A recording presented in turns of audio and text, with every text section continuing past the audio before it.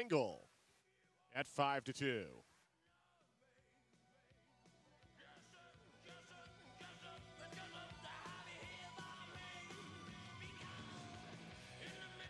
And they're off. That's the two outs striving for early control. The seven, though, now gets the lead. One and three, followed by the six and four. Around the final turn to seven, Sean Mercer is off to himself, winning easily 7 1 3. Pretty close for fourth.